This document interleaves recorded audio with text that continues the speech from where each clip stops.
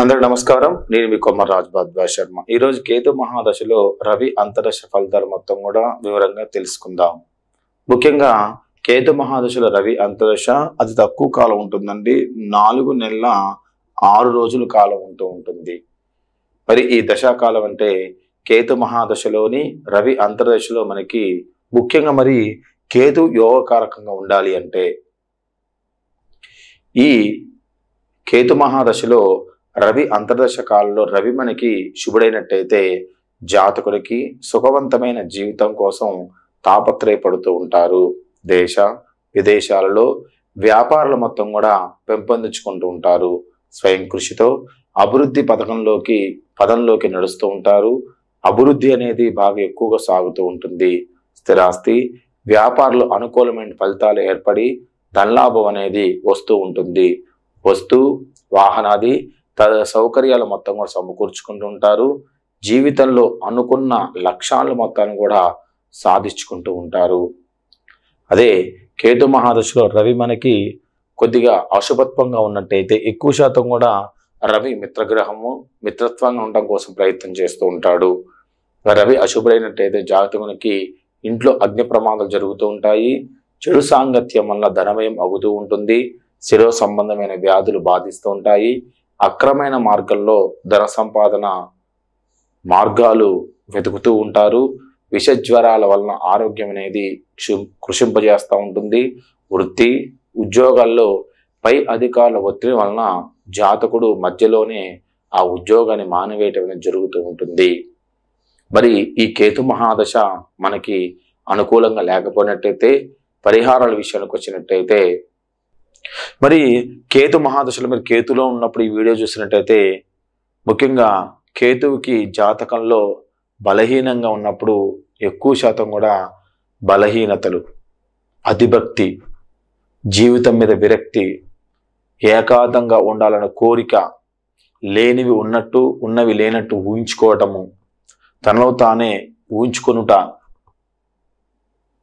తనకు తానే దేవుడని నేను దేవత పంపించిన దూతనని చెప్పుకోవటం లేదా తనే దేవుడని తనే దేవతని ఊహించుకోవటం దేనిని చూసినా భయపడటం ఉద్యోగంలో స్థిరత్వంగా లేకపోవటం భార్య పిల్లల్ని వదిలేసి దేశంచారం చేయటం పిచ్చివాని వల్ల ప్రవర్తించడం విచిత్ర వేషధారణ సంతానం కలగకపోవటం గర్భం వచ్చిపోవటం చిన్నపిల్లకి తీవ్ర అనారోగ్యం కలగటం అంటువ్యాధులు.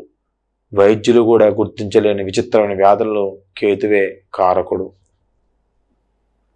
కేతుగ్రహం అనేది అనుగ్రహం కోసం నలుపు తెలుపు రంగులో ఉన్న కంబల్ని దానం చేయటం. దేవాలయ కట్టుకోవడానికి విరాళాలు ఇవ్వటం పిచ్చి ఆసుపత్రులలో రోగులకి సేవ చేయటం. అనాథ పిల్లలను చేరదీసి వారికి భోజన సదుపాయం కల్పించడం అనాథ ఆశ్రమాలకి విరాళాలు ఇవ్వటం అనాథ ఆశ్రమాలకి భోజన సదుపాయం కలిగించడం. ఇవన్నీ కూడా కేతువు మంచి చేయడానికి ప్రయత్నం చేసేటువంటి పరిహారాలు. వైడూర్యం. ఒక మూడు నుంచి ఐదు క్యారెట్లు మంచి వైడూర్యాన్ని తీసుకొని వాడండి. వెండి కానీ బంగారంలో కానీ పెట్టుకోవచ్చు. లేదు తొమ్మిది ముఖాలు ఉన్నటువంటి రుద్రాక్షని ధరించండి ప్రతిరోజు. కేతుగ్రహాలకు అనుగ్రహాన్ని పొందుతూ ఉంటారు. ఇక కేతువుకు సంబంధించిన విషయాలు ఏం చేస్తారంటే కేతువుకి ఆదివారం రోజు లేదా మంగళవారం రోజు. ఎక్కువ శాతం కూడా కేతువుకి రాహు ప్రతిఘాటి మంగళవారమే చేస్తూ ఉన్నారు. మంగళవారం కుదరం కూడా ఆదివారం చేయొచ్చు లేదా మంగళవారం చేయొచ్చు. మంగళవారం రోజు ఒకటి బావు కేజీ ఉలవల్ని దానం చేయండి.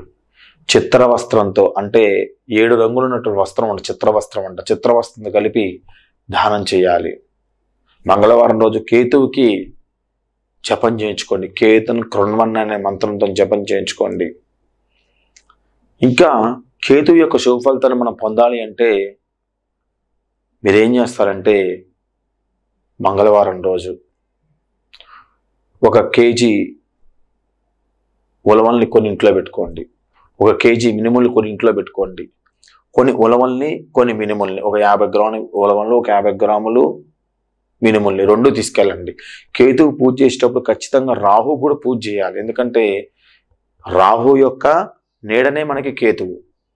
కాబట్టి రాహుకి పూజ చేయాలి మనం కేతువుకి పూజ చేయాలి. కాబట్టి రాహుకి మినుముల్ని కేతువుకి ఉలవల్ని తీసుకెళ్ళండి కొన్ని. మొదటగా రాహుకి కొన్ని నీరు పోయండి. కేతు కొన్ని నీరు పోయండి. తర్వాత రాహుకి కొన్ని పాలు పోయండి. కేతు కొన్ని పాలు పోయండి. మళ్ళీ రాహుకి కొబ్బరికాయ కొట్టి నీరు పోయండి. కేతు కొబ్బరికాయ కొట్టి నీరు పోయండి. ఒకటే కొబ్బరికాయ కొట్టి రెండింటి మీద పోయొచ్చు. అదేవిధంగా కొద్ది నీరు పోసి స్వామివారికి గంధం పెట్టి బొట్టు పెట్టి తర్వాత ఒక పుష్పమాలిక వేయండి. ఏదైనా పూలు మీ ఇంట్లో కట్టిన పూలు ఏంటంటే తీసుకెళ్ళి పూలమాల వేయండి. మీరు తీసుకెళ్ళినటువంటి మినుములు ఏవైతే ఉన్నాయో ఆ మినుములు కొన్ని రాహు పాదాల మీద వేయండి మీరు తీసుకెళ్ళినటువంటి మినుములు ఉలవలు ఏవైతే ఉన్నాయో ఉలవలు తెల్ల ఉలవలు ఉంటాయి. ఆ ఉలవల్ని స్వామివారి కేతు పాదాల మీద పోయండి మనసులో రాహవే కేతవే నమ అనుకుంటూ ఇరవై ఒక్కసార్లు ప్రదక్షిణ చేయండి. మీకు మంత్రం వస్తే మంత్రం చదవండి. మూల మంత్రం వస్తే మూల మంత్రం చదవండి. రాహుకి కేతువు చుట్టూ ఇరవై ఒక్క ప్రదక్షిణాలు చేయండి. ప్రదక్షిణం చేసి కాలు కొడుక్కొని అమ్మవారి దర్శనం చేయండి. దగ్గరలో ఏ దేవత మీ ఆ గ- మీ యొక్క నవగ్రహాల ప్రతిష్ఠ చేసిన దేవాలయం ఏదైతే దేవతను ఆ దేవతకి వెళ్ళి నమస్కారం చేసుకోండి. అట్లా ప్రతి మంగళవారం చేయండి. నోరుని అదుపులో పెట్టుకోండి. ఎక్కువ అతిభక్తి మీద వెళ్ళకండి. కేతు అతిభక్తి కారకుడు. భజన బ్యాచ్ లాగా మారకండి. పూజ చేశామా? వచ్చామా? మన పని మనం చూసుకున్నామా? అంతవరకే కానీ వైరాగ్య జీవితాన్ని ప్రసాదించే తత్వం కేతుకే ఉంది. కానీ ఆ వైరాగ్య జీవితాన్ని మనం పొందడం కోసం మీరు ప్రయత్నం చేయకండి. అదేవిధంగా కేతువుకి ఇంకా మీకు అనుగ్రహం పొందాలంటే వైడూర్యం తీసుకోండి. మంచి వైడూర్యం తీసుకొని మీకు కావాలంటే వాట్సాప్ చేయండి. మీకు మంచి వైడూర్యం లింక్ మీకు పెడతాను. నేను మీరే డైరెక్ట్ కొనుక్కోవచ్చు. మంచి వైడూర్యం తీసుకొని కుడిచే ఉంగరం వేలుకు వాడండి. ఆ వైడూర్యము మంచి నాన్ హీటెడ్ స్టోన్గా ఉండాలి. అదేవిధంగా కేతువుకి సంబంధించినటువంటి అమ్మవారి యొక్క దశమహావిద్యలో ఉన్నటువంటి ధూమ్రావతి దశమహావిద్యలో ధూమ్రావతి దేవత ఉంది. ధూమ్రావతి అష్టోత్తరం చదవండి. ధూమ్రావతికి ఎక్కువ పూజ చేయండి. శత్రుపీడని తొలగిస్తూ ఉంటుంది. మీకు ఎక్కువ కోపం పెరిగిందనుక కేతువులో బగలామికి అష్టోత్తరం చేస్తూ ఉండండి. దశ మహావిద్యల దశ మహావిద్యలు చేయండి మీకు ఖచ్చితంగా ఫలితం కలగజేస్తూ ఉంటుంది. చండీ కంటే దశ మహావిద్యల ఫలితం అమోఘమైంది అనమాట చండీలో మీకు ఏంటంటే అది ఒక పదకొండు అధ్యాయాలు మాత్రం ఉంటాయి. పదకొండు అధ్యాయాలు అమ్మవారిని ఏ విధంగా చంపుతున్నటువంటి విషయాలు మాత్రం ఉంటాయి. కానీ అక్కడ మూలమంత్రాలు అక్కడ లేవు. దశ మహావిద్యలు ఈ యొక్క చండీలో దశ మహావిద్యలో మూలమంత్రాలు ఉంటాయి ఆ ఫలితం అనేది మీకు చూపిస్తూ ఉంటుంది. ఏ విధంగా మనము కేతువుకి ఎక్కువ పూజ చేసినట్టయితే రాహుతో పాటు కేతు కూడా మనకు ప్రసన్నమయ్యి మంచి శుభమైనటువంటి మార్గాలు కనిపిస్తూ ఉంటాయి. ఇంకా కేతువుకి ఏడు వేల సంఖ్యతో జపం చేసుకుని కేతును కృణమాన్ అనే మంత్రంతో జపం చేయించుకోండి. కేతుకు తర్పణం వదిలించండి. కేతువుకి హోమం చేయండి ఉలవలతోని. అట్లా ప్రతి సంవత్సరం చేస్తూ ఉండండి కేతువుకి. మీ గ్రహ ప్రాబ్లం గ్రహానికి చేసుకోండి. కాబట్టి ఆ గ్రహానికి సంబంధించినటువంటి నష్టాన్ని మనం పూడ్చుకోవడం అవకాశం ఎక్కువ కనిపిస్తూ ఉంటుంది. ఇది కేతువు సంబంధించిన పరిహారం. ఈ కేతు మహాదశలో ఈ యొక్క రవి అంతర్దశకి ఏంటంటే ఒకటి బావు కేజీ ఉలవలు తీసుకోండి. ఒకటి బావు కేజీ గోధుమలు తీసుకొని ఈ యొక్క చిత్రవర్ణ వస్త్రంతో కలిపి బ్రాహ్మడికి మంగళవారం రోజు దానం చేయండి. మంగళవారం రోజు కేతువుకి అభిషేకం చేయించి అదేవిధంగా రవికి అభిషేకం చేయించి దానం చేయటం వల్ల జప హోమ తర్పణ దాన కార్యక్రమాలు చేసుకోవడం వల్ల మంచి శుభఫలితం అనేది కలుగుతూ ఉంటుంది. ఇది కేతు మహాదశలో ఉన్నటువంటి రవి అంతర్దశ గురించి. తదుపరి కేతు మహాదశలో చంద్ర అంతర్దశ గురించి మరి తదుపరి క్లాసులో వివరంగా తెలియజేస్తాను. అందరి వీడియో లైక్ చేయండి షేర్ చేయండి సబ్స్క్రైబ్ అవ్వండి. మీ కామెంట్ మాత్రం ఖచ్చితంగా తెలియజేయండి. మీ భరద్వాజ్ శర్మ.